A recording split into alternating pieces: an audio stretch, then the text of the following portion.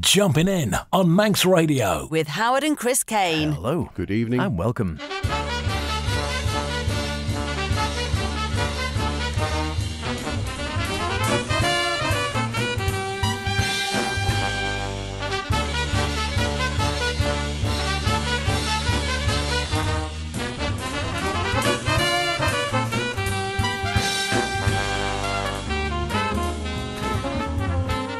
Is it spring already? No, sadly it's not. We're still in January. But no matter what the weather is doing on a Saturday night, we can guarantee keeping the temperature warm with some of the best in modern and contemporary jazz. Jumping in with myself, H. And me, Chris. Yes, welcome along to this week's show. And as we head toward the end of the month, the stark realization that there are still 346 days before Christmas hits home as the dank, cold weather seems dark, stark, and joyless. Well, at least until jumping in on Saturday night brings a few rays of warm, jazzy goodness over the airwaves. So, H, what's had you dreaming of sunnier climes this week, and what would be your holiday essentials? Well, mm, time and tide waits for no man. I'm never quite too sure, actually. There's so much going on these days. How about a new Nordic trio, Le Guin, up in the Little North? A few snide remarks, maybe, and, uh, you know, I might throw in a bit of Dave Douglas. And from me, well, we hear Stu's news, strictly nothing to do with Manx politics, I promise. We head to the uh, garden with Green Thumb. We dispel an urban myth, or do we? And to kick off the show, we're all in with the Tobias Becker Big Band.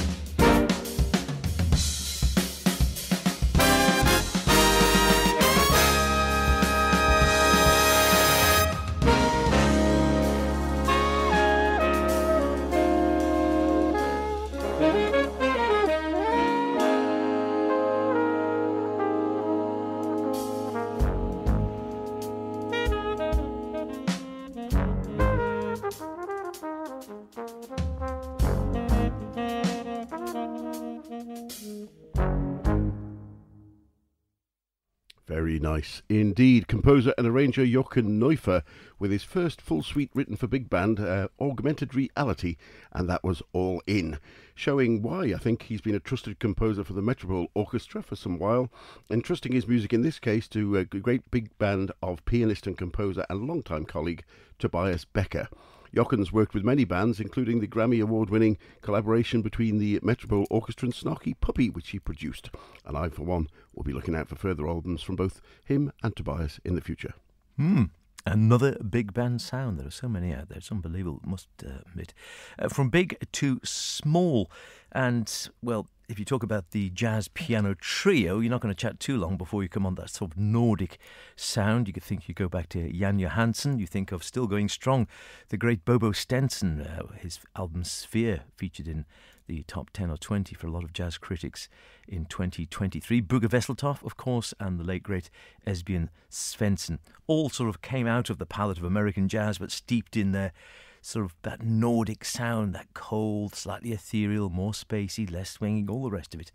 You know the general gist of it. Well, there's a new one on the scene now on the Act label, Oscar Andreas Haug, uh, and his trio called Little North. All three young guys, Benjamin Norholm, uh, or Benjamin Norholm Jacobsen, uh, and on the piano, the bassist Martin Brunbjerg, always struggle some of these uh, names, Martin Brunbjerg Rasmussen, and the drummer Lasse Jacobsen, with a sort of sound which is ethereal again, can be quite cinematic, a little bit melancholic, quite beautiful, lots of different twists and turns.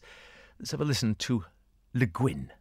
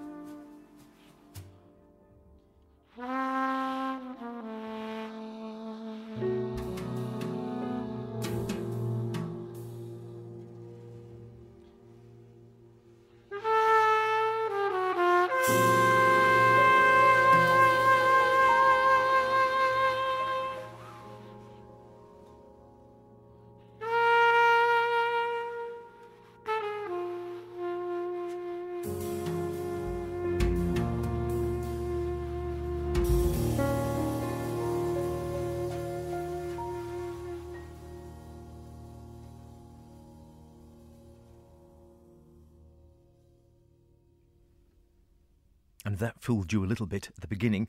A piano trio where the first thing you hear is pretty much a trumpet. Yeah, fooled me as well, I must admit, but that's the way it goes. That's the first track on the album, Le Guin. And it is a piano trio featuring, as you gathered there on a couple of tracks, the trumpet of Oscar Andreas Haug.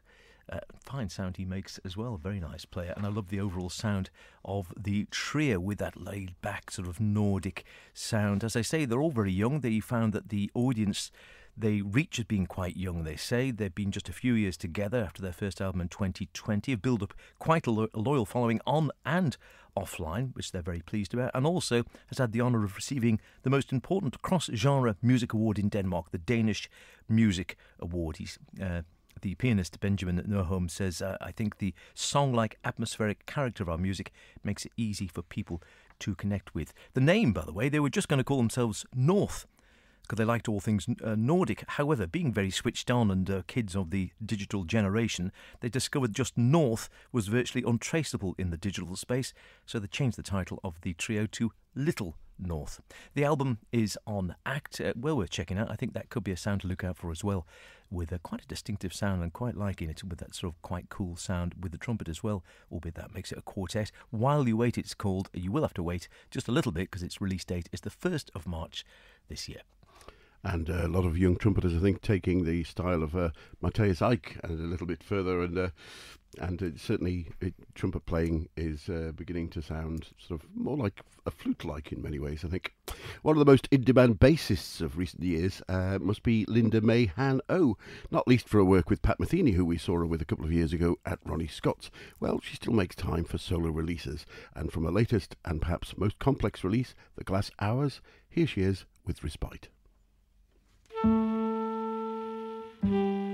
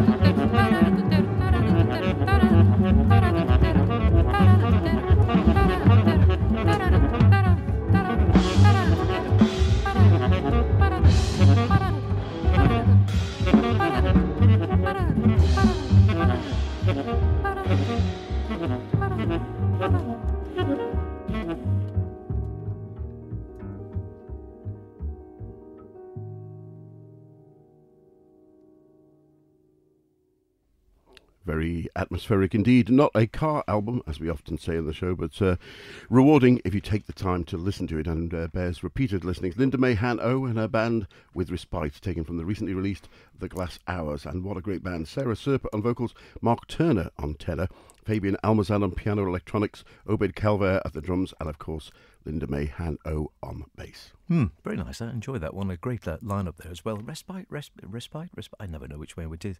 It is. Suffice to say, Omid Calder, I think, was playing uh, with Wynton Marsalis with the um, big band where I saw him last year. Wonderful drummer. And they did some small stuff and uh, terrific, really fine player, and used to play with, uh, of course, Dave Holland as well. Wonderful.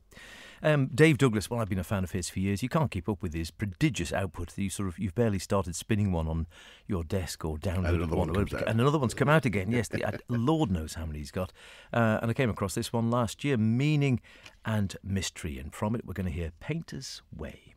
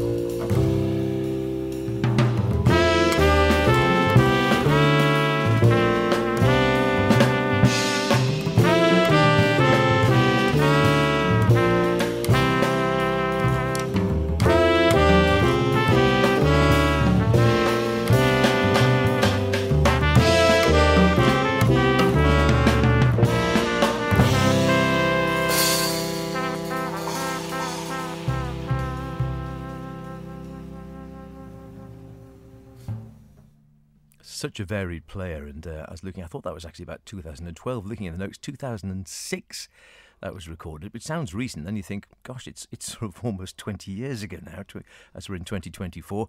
And as Dave notes himself in the liner notes, music goes by fast. Listeners know the first two recordings of this quintet will notice this is a very considerably different version of the band and vision of the band. And uh, he also makes a nice note about Uri Caine playing the Fender Rhodes there.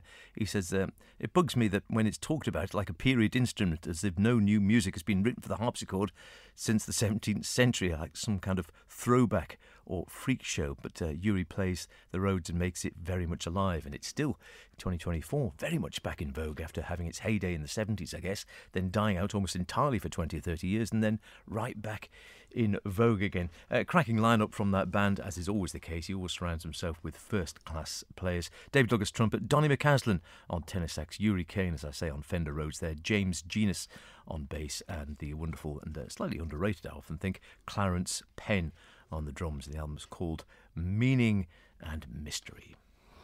Of course, uh, there is a new Fender Rhodes around today. Yours for uh, in the region of 12 grand, I think. Yeah, I'll have two. Yeah. now, next for me, pianist David Ake, or Ake, A-K-E, Ake, I think it is. He's been a firm favourite of mine since uh, the first release I got of his a couple of years ago. However, it's typically his seventh release on the Posi-Tone label and Green Thumb, for which he puts together a terrific quartet. From it, here's Stu's News.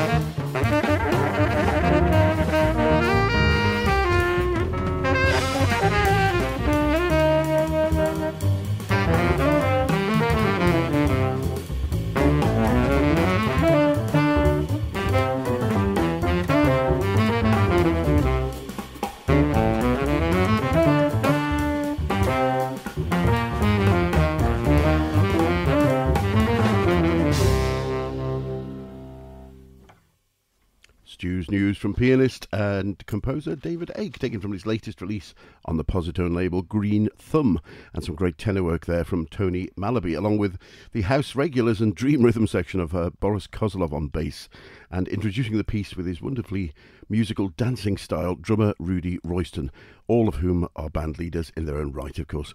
Despite a recording career spanning some 25 years, David Ake doesn't often have time to get into the studio. As I say, this is his seventh release in 25 years, and uh, alongside his career as a professor, a multi award winning musicologist, and author. But I'm glad to say that when he does, he makes it count.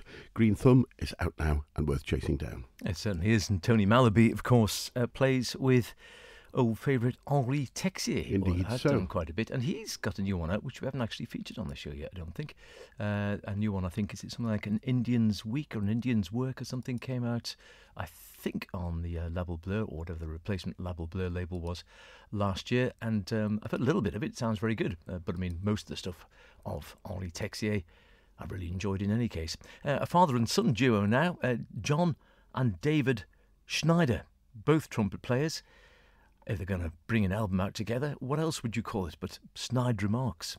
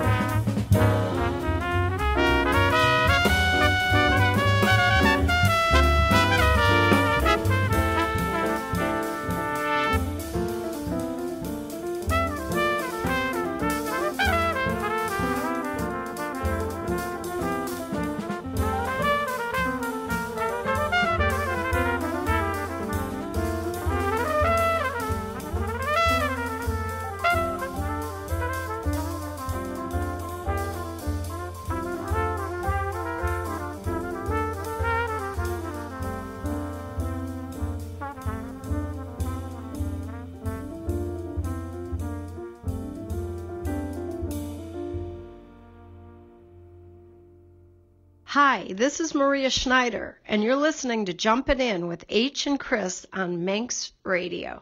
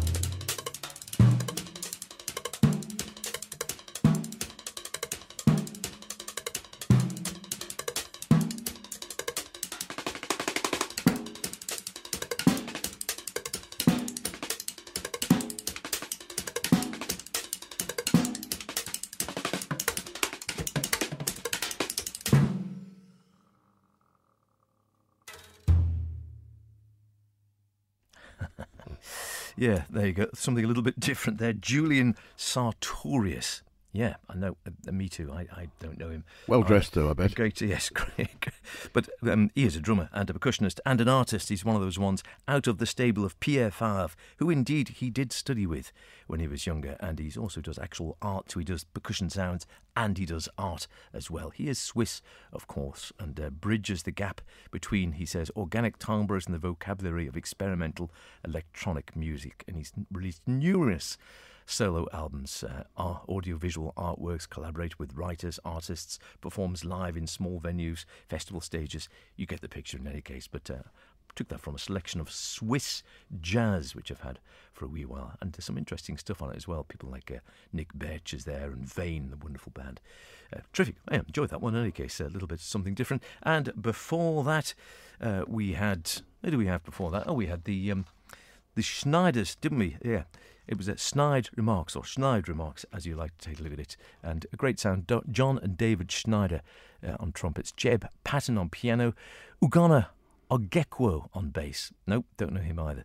And Andy Watson on the drums. And they say they wanted to explore the possibilities and potential of the two trumpet format, which they've done very well on their new album. And you can catch that one on Cellar Live label blowing their own trumpets, certainly. Well, that's about it for this week's show. But before we go, there's just about time to fit in a track from the latest release from Trio Grande 2.0. In its first incarnation, the trio of saxman Will Vinson and guitarist Gilad Hekselman and Antonio Sanchez had their plans to tour cut short due to the pan- pandemic, of course. But now in version 2.0, Sanchez has been replaced by drummer and bass player Nate Wood from Kneebody. And yes, I did say drummer and bass player. And yes, he really does play both at the same time, yes, which is uh, amazing uh, to watch. It's yeah. something to behold. We didn't even notice at first when we caught him playing with Kneebody in Brussels a couple of years ago, but amazing and uh, amazing facility on both instruments.